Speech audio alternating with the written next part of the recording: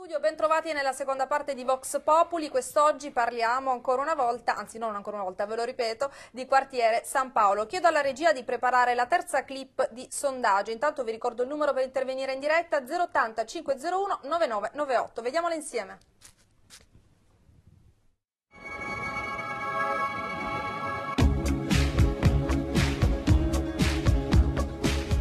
Facendo una passeggiata al mercato coperto si capisce subito che c'è qualcosa che non va. La struttura è vecchia e trascurata, i clienti sono pochi e gli affari, inutile dirlo, stentano ad andare avanti. La gente va con i soldi dei contati nella tasca. Questo è il giro della piazza.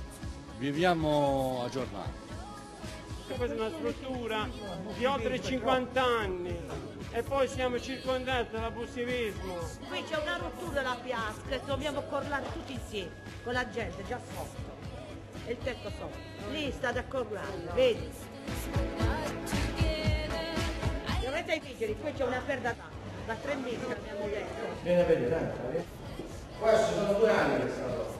Questo è l'aumento del canone. Il comune viene a vedere la situazione della piazza che vuole essere buttata a terra. Questo è l'ove vuole essere pagato. Un po' più in là un grande spiazzo è dedicato al mercato del venerdì. Peccato solamente che qualcuno si sia divertito a smontare le giostrine e a devastare tutti i bagni.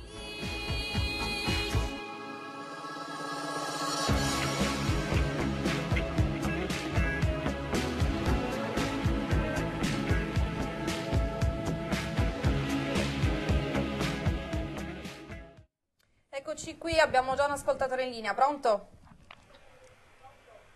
Pronto? Sì, buonasera. Buonasera. Senta, mi chiamo Michele, chiamo sempre dal San Paolo Sì. e volevo eh, fare una domanda al Prego. riguardo. Come mai al San Paolo vi è solo un ufficio postale?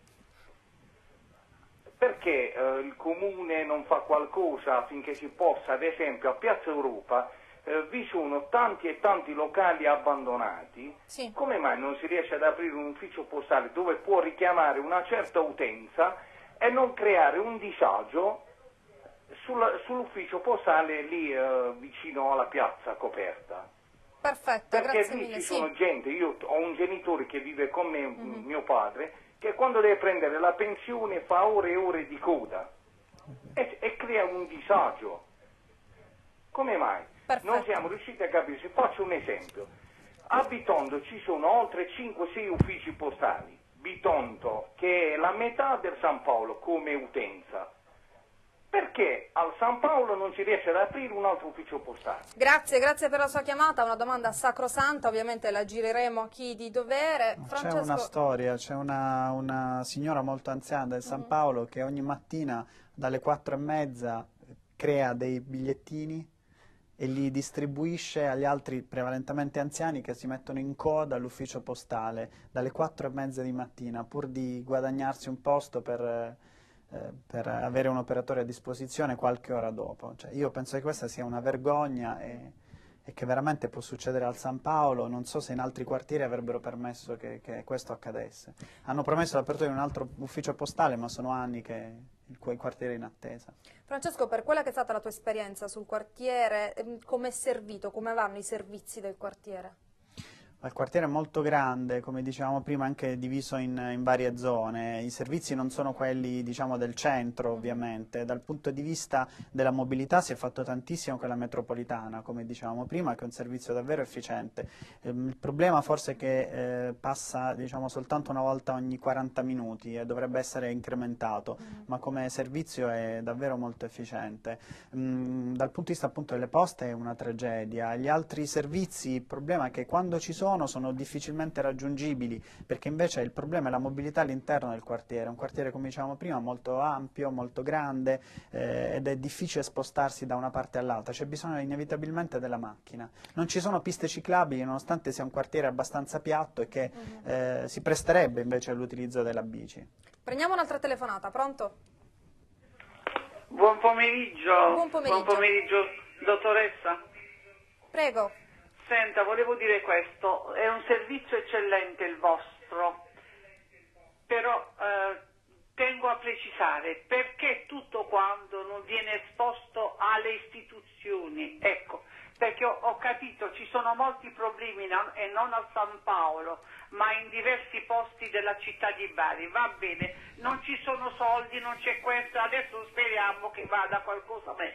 Però io questi problemi, chiedo scusa, per i signori li ringrazio perché è bene ogni volta vedere un quartiere, gente diversa che per il domani si interessa. Però io vi direi, mh, fate venire i politici, perlomeno uno di noi può esporre tutto quanto va bene, perché guardi, è uno scempio, è uno scempio, è uno scempio. Io vi ringrazio, dottoressa, la saluto tanto, buonasera. Grazie, grazie mille signora per la sua telefonata. Come vi ho spiegato durante la prima puntata, questo è un contenitore, quindi noi raccogliamo quelle che sono le problematiche, poi saremo noi stessi di Telebari a portare ai politici le vostre richieste, fermo restando che lo sapete, durante le nostre trasmissioni spesso comunque i politici sono, sono qui presenti. Eh, 080 501 9998 il numero per intervenire in diretta. Giovanna, eh, secondo te i residenti del San Paolo che tipo di rapporto hanno a questo punto con le istituzioni? Si sentono vicini alle istituzioni o si sentono abbandonati? Beh, per l'esperienza che ho, secondo me sentono un po' la- l'abbandono delle istituzioni, nonostante, devo dire io per esperienza personale, abbia un- comunque una- un buon rapporto con le istituzioni per quello che facciamo, quindi eh, soprattutto i servizi sociali sono molto presenti sul quartiere, sono vicini alle famiglie, però mi accorgo che spesso c'è la non conoscenza e, e questa diventa poi un limite perché molte, molte famiglie non sanno, non conoscono e, e magari si sentono sole, no? Quindi forse questo è il limite più grosso perché poi le istituzioni ci sono, sono presenti e sono un po' lontane. Però, però insomma è- bisogna, bisogna andare, bisogna avvicinarsi. Siamo addirittura d'arrivo, quindi io chiedo alla regia di mandare la quarta e ultima clip, così magari riusciamo a commentarla un po' dopo.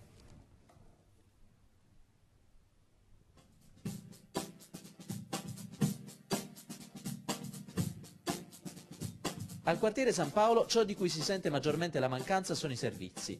Se da un lato la metropolitana funziona efficientemente, dall'altro non può dirsi lo stesso degli autobus.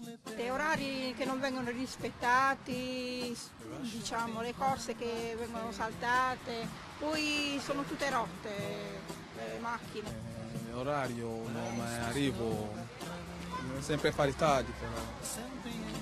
Bisogna aumentare le corse, soprattutto la linea 3, perché la mattina, soprattutto dalla, dalla fascia oraria dalle 7 alle 8, sono strapieni pullman e non tutti riescono a prenderli. I posti a sedere sono pochi, si viaggia come le sardine, cioè come gli animali praticamente. Molta gente preferisce prendere ora il metro che comunque costa di più rispetto al pullman. È un costo aggiuntivo, se loro aumentavano le corse si poteva prendere l'AMTAV.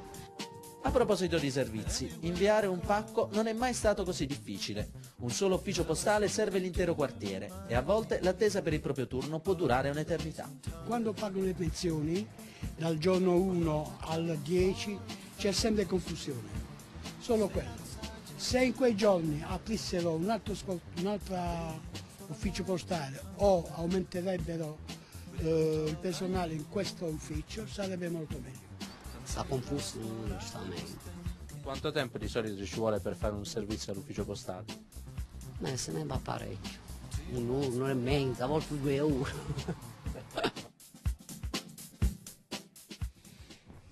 Eccoci qui Francesco, la risposta a quello che stavamo dicendo, no? Mm-mm. Esatto, sì, è è veramente un'odissea quella dei servizi, a San Paolo in particolar modo della posta, davvero. E, mh, notavo però prima anche la diversità, ma magari anche interessante, che abbiamo fra San Paolo Social Network e Campo di Fragole, eh, perché noi avete forse involontariamente anche mostrato uno dei murales che abbiamo La realizzato. immagine, sì, sì. sì.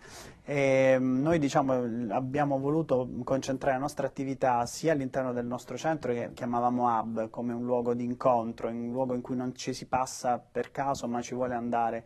Però diciamo abbiamo anche concentrato tutte le nostre attività per strada, molte attività di animazione di strada, la realizzazione dei murales sui diritti dell'infanzia e molte attività di animazione territoriale. Abbiamo portato anche dal centro di Bari, eh, con la collaborazione dell'associazione Menù Kebab, abbiamo realizzato un festival di musica hip hop, portando un cantante giamaicano, cioè anglo-giamaicano famosissimo nell'auditorium dell'istituto Majorana.